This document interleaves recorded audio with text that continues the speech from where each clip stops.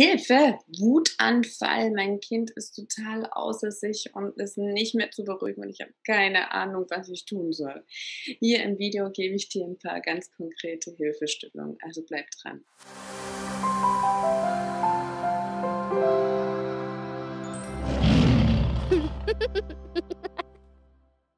Hallo, schön, dass du da bist. Ich bin Svenja Löwe, ich bin Ergotherapeutin, Autorin, Familienberaterin und nicht zuletzt selbst hochsensible Mama von drei Kindern. Ja, das Thema Wut ist ein ganz großes Thema. Ich habe in einem anderen Video schon, oder ich habe schon zwei Videos dazu gemacht. Ähm, hier geht es wirklich um den ganz konkreten Fall von einem Wutanfall. Ja, also im Idealfall ist es natürlich so, dass du äh, eingreifst, bevor es soweit ist, bevor der Wutanfall da ist, ähm, weil nur dann helfen die meisten Hilfsmöglichkeiten. Wenn der Wutanfall da ist, wenn das Wutgewitter losbricht, ja, dann kannst du nicht mehr viel machen, außer das Ganze zu begleiten und zu schauen, dass es vorbeigeht, ähm, ohne größeren Schaden, also Schadensbegrenzung betreiben. Ähm, ja, das sei einfach gesagt, das Kind ist in dem Moment kognitiv nicht mehr erreichbar. Also weder diskutieren, erklären, schimpfen, Konsequenzen androhen, nichts hilft. Ja? Ähm, das kannst du dir einfach sparen. Das macht es meistens nur noch schlimmer. Das heißt, was kannst du denn tun, wenn es denn wirklich so weit ist, wenn dein Kind völlig im Anfall ist? Also es ist wirklich, wie gesagt, es ist ein Anfall, das Gehirn ist nicht mehr aufnahmefähig. Ja, dann kannst du wirklich nur noch schauen, dass ähm, du dein Kind so in Sicherheit bringst, dass es weder dich oder anderen noch sich selbst auch verletzen kann. Ja, dass du es eben aus der Situation rausnimmst, dass du es vielleicht auf den Boden legst oder auf, aufs Bett legst, wo es sich wirklich nichts tun kann, ähm, dass du vielleicht aus der Schussbahn rausgehst, wenn es um sich tritt, ja. Ähm, dass du da, ja, wie gesagt, darauf achtest, dass da nichts passiert. Ähm, zum anderen ähm, musst du schauen, was es braucht. Ja? Du brauchst Körperkontakt, brauchst keinen Körperkontakt. Manche Kinder wollen dann wirklich gehalten werden. Die brauchen diesen Körperkontakt. Dann musst du es ganz fest in den Arm nehmen. Ähm, andere können das in dem Moment gar nicht. Ja? Ähm, die wollen wirklich ihre Ruhe. Die wollen, dass du weggehst. Aber dann bleib in der Nähe und guck, dass da wirklich nichts passiert. Zum anderen musst du auch schauen, es ähm, äh, nimm es nicht persönlich, ja. Also auch wenn du beschimpft bist, es, dein Kind meint es nicht so. Es ist selbst absolut in Not. Es ist eine absolute Notsituation und ähm, es macht nichts gegen dich. Es macht was für sich. Also nimm es nicht persönlich. Dann zum anderen, versuch wirklich ruhig zu bleiben. Versuch wirklich bei dir auch zu bleiben. Das ist oft sehr, sehr schwierig, weil wir sehr von der Wut auch getriggert werden. Ich habe es im anderen Video schon erklärt, ähm, dass das oft Emotionen sind, die wir mit denen wir nicht gelernt haben, selbst auch umzugehen, ja. Und dann will das eben irgendwann raus und gesehen werden und dann kann es eben sein, dass so eine Wut deines Kindes dich selbst sehr triggert.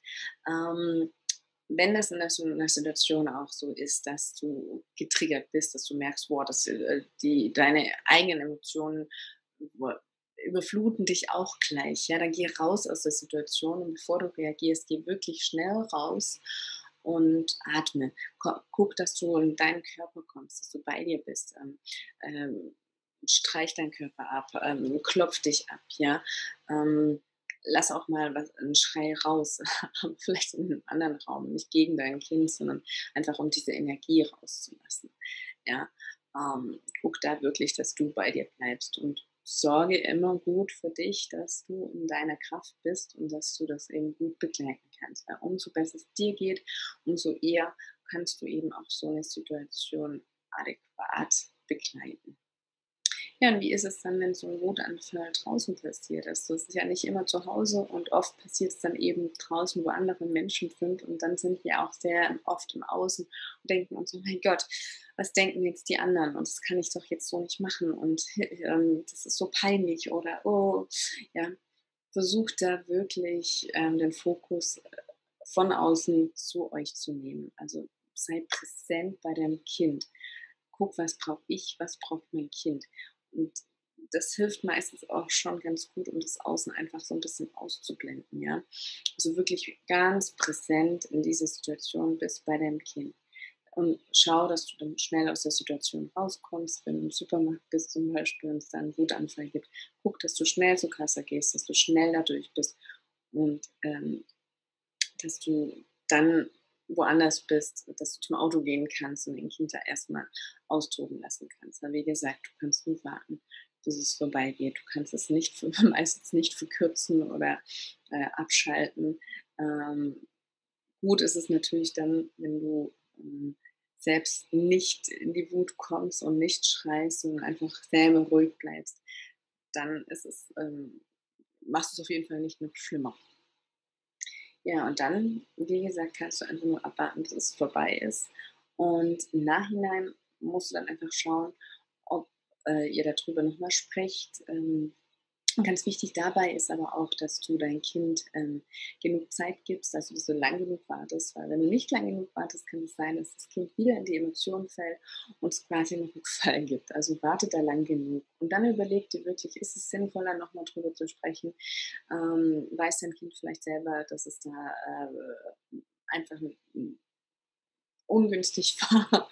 ähm, vielleicht schämst dich da selber dafür, dann brauchst du vielleicht auch gar nicht mehr drüber reden und es gleich noch schlimmer machen. Oder vertrau da auch ein bisschen auf dein Gefühl, wenn du merkst, dein Kind möchte vielleicht auch nochmal drüber sprechen. Ähm, dann gib ihm die Möglichkeit. Oder wenn du das Gefühl hast, dann steckt noch mehr dahinter, weil oft steckt ja, meistens steckt ja Frust oder Trauer hinter einer Wut. Dann guck und geh da ins Gespräch mit deinem Kind. Was beschäftigt dein Kind denn momentan? Was steckt dahinter? Was äh, war der Auslöser? Was ist dem vorausgegangen? Äh, wenn du auch das Gefühl hast, dass du überreagiert hast, dann entschuldige dich auch. Ne? Und ähm, sag deinem Kind, dass du das nächste Mal vielleicht anders machen möchtest. Und überleg auch mit deinem Kind, was könnte man denn das nächste Mal anders machen? Oder was möchte dein Kind denn von dir? Was würde es sich wünschen? Gerade auch mit dem Körperkontakt. Ähm, frag dein Kind, willst du, dass ich dabei bleibe, auch wenn du mich wegschickst? Soll ich dich in den Arm nehmen oder nicht? Ähm, das können die Kinder auch hinterher oft ganz gut sagen und sagen, was sie da brauchen. Also geh da gerne nochmal ins Gespräch. Aber wie gesagt, vertraue da auch deinem Gefühl und schau, ob es sich in dem Moment lohnt, ob es passt oder nicht passt und suche auch den richtigen Zeitpunkt dafür aus.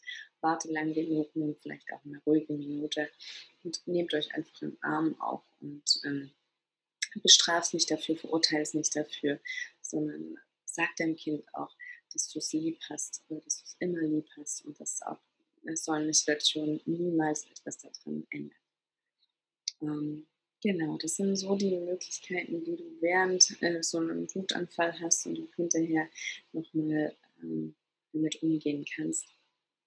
Ähm, ja, dann wird es leichter, so Wut auch zu begleiten. Ähm, es wird meistens auch besser mit zunehmendem Alter. Aber umso früher du auch ähm, deinem Kind beibringst, ähm, gut und adäquat mit der Wut umzugehen und selbst auch Möglichkeiten an die Hand gibst, wie es vielleicht auch ähm, im Vorfeld reagieren kann, umso leichter wird es auch mit der Zeit. Ich würde mich natürlich über ein Like freuen. Äh, abonniere auch gerne meinen Kanal, komm auch gerne in meine Facebook-Gruppe, wo du dich mit anderen Eltern austauschen kannst. Und ich begrüße dich auch sehr gerne auf meinem Instagram-Kanal, wo du viele äh, aktuelle Impulse von mir bekommst. Bis dahin wünsche ich dir ganz viel Erfolg und Kraft bei der Umsetzung und schicke dir viele löwenstarke Grüße. Mach's gut und bis bald. Tschüss.